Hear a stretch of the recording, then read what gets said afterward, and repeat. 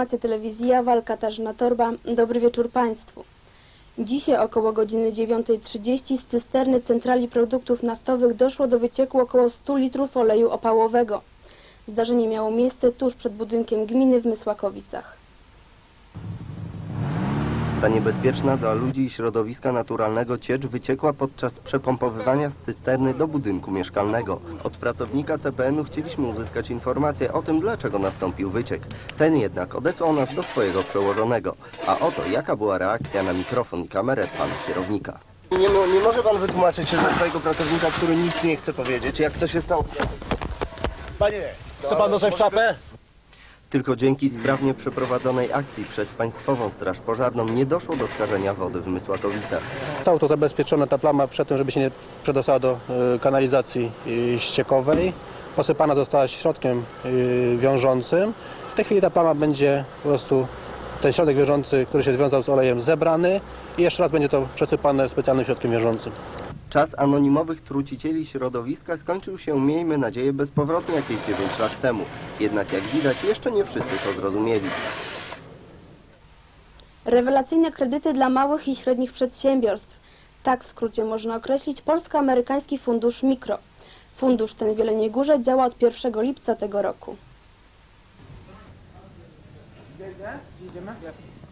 W odróżnieniu od banków o wiele mniej korowodu ma mały przedsiębiorca ze sprawami papierkowymi. Fundusz Mikro nie wymaga na przykład zaświadczenia z ZUS-u, niepotrzebny jest profesjonalny biznesplan ani też zabezpieczenie majątkowe.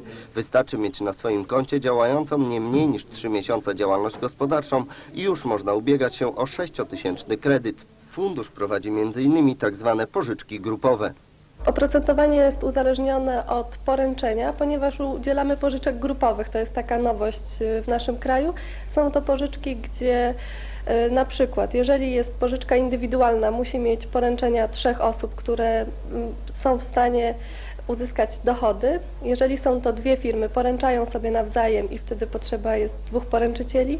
Jeżeli są trzy firmy, jeden poręczyciel i mogą być cztery firmy, wtedy nie potrzeba poręczycieli z zewnątrz, ponieważ wszyscy poręczają sobie nawzajem i wszyscy są zainteresowani uzyskaniem tej pożyczki. Anna Biesaga twierdzi, że bardzo wysoka jest spłacalność pożyczek zaciągniętych w funduszu mikro. Powiedziała nam także, że powoli przekonują się do tego systemu również jeleniogórzanie. Mamy takich klientów, to jest taki standardowy przykład, którzy handlowali na łóżku polowym, wzięli z funduszu mikro już 8 pożyczek, które spłacili i w tej chwili mają porządne sklepy, doskonale funkcjonują. Po prostu my udzielamy pożyczek dla tak zwanego przedszkola gospodarczego. Ci ludzie po prostu powoli docierają do, do coraz wyższych szczebli, rozwijają swoje firmy. Polsko-Amerykański Fundusz Mikro ma w kraju 37 przedstawicielstw. Tylko w ciągu dwóch lat działalności udzielono 729 kredytów na kwotę 6 milionów złotych. Jedyną drogą, jaką można dostać się na nowy cmentarz komunalny jest trasa Jelenia Góra Karpacz. Niestety wybitnie nie sprzyja ona spacerowiczom. Pojazdy poruszające się tą drogą rozwijają z reguły nadmierną prędkość, mimo że jest to teren zabudowany. Jest więc to również obszar miasta Jeleniej Góry. Niestety przydrożny chodnik kończy się gdzieś na wysokości jednostki wojskowej, a dalej jest tylko bardzo wąskie pobocze i stosunkowo wąska droga. Nie dziwią więc chyba nikogo obawy osób, które pieszo bądź rowerem chcą dotrzeć do cmentarza. Idę właśnie na cmentarz ten nowy i obawiam się o swoje zdrowie i życie, bo tu jest bardzo wąsko, niebezpiecznie. Nie ma chodnika, jest wąskie pobocze, a samochody jedą, jadą dosyć szybko i nie uważają na przechodniów. I wskazane byłoby, żeby zrobiony był chodnik. Jest niebezpiecznie, tak pod strachem, takim lękiem, niepewność jest, brak jest tu poboczy, dlatego a prosiłbym, apelował, mam prośbę do władz miasta o pobocze dla pieszych, może jednocześnie byłoby, jak nie wiem, dla rowerzystów. Wprawdzie do cmentarza, choć rzadko, to jednak kursuje autobus MZK, jednak nie wszyscy mają ochotę i muszą z niego korzystać. A ci, którzy korzystają, także nie są pozbawieni obaw, gdyż od przystanku do cmentarza nie ma na jezdni pasów dla pieszych, ani też żaden znak drogowy o możliwości wystąpienia ludzi na jezdni kierowców nie informuje. Uzasadniony jest więc z całą pewnością apel do władz miasta Jeleniej Góry o chodnik lub choćby pobocze z prawdziwego zdarzenia od jednostki wojskowej chociaż do cmentarza. Już za tydzień rozpoczyna się rok szkolny. W 18 jeleniogórskich podstawówkach rozpocznie naukę kilkaset pierwszoklasistów. 1 września jest bardzo ważnym dniem dla siedmiolatków, ale również i dla ich rodziców. I to nie tylko ze względu na początek roku szkolnego. Jest on ważny przy planowaniu domowego budżetu. Wyprawienie jednego dziecka do szkoły uszczupli portfel wielu rodzin o około 300 zł minimum. Komplet 5-6 podręczników do pierwszej klasy szkoły podstawowej kosztuje w granicach 80 zł. Tornister około 100 polskich złotówek, buty sportowe 50, adresy 70 zł. Do tego trzeba jeszcze doliczyć przybory szkolne, fartuszki, pomocnicze i uzyskujemy kwotę dużo przekraczającą minimalną założoną przez nas 300 zł. A ponoć szkolnictwo w Polsce jest bezpłatne.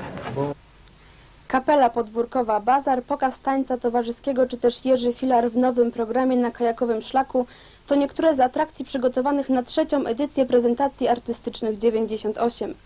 Impreza rozpocznie się w piątek o godzinie 16 w muszli koncertowej Parku Zdrojowego. Prezentacja artystyczna 98 to impreza odbywająca się w dniach 28-30 sierpnia organizowana przez Młodzieżowy Dom Kultury Muflon w Sobieszowie.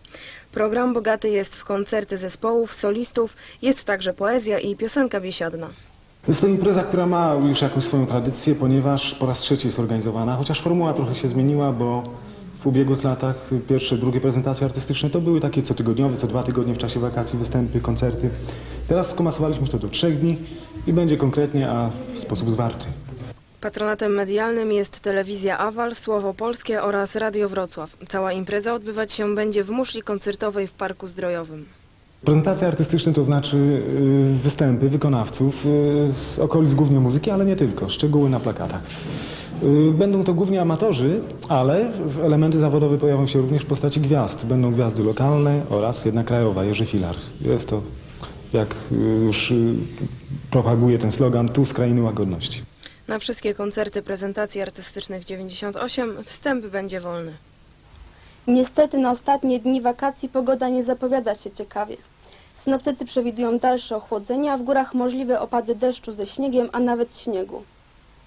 Jutro zachmurzenie umiarkowane, okresami duże z niewielkimi opadami deszczu, w górach deszczu ze śniegiem. Temperatura od 11 stopni w Szklarskiej Porębie do 16 w Jeleniej Górze i w Zgorzelcu. W szczytowych partiach Sudetów od minus 1 stopnia do 3. Wiatr słaby umiarkowany, w górach dość silny zachodni. Ciśnienie atmosferyczne o godzinie 20 w Jeleniej Górze wynosiło 1000 hektopaskali i przewidywany jest stan stały. Warunki biometeorologiczne niekorzystne. Osoby wrażliwe na zmiany pogody odczuwać będą senność, bóle i pogorszenie samopoczucia.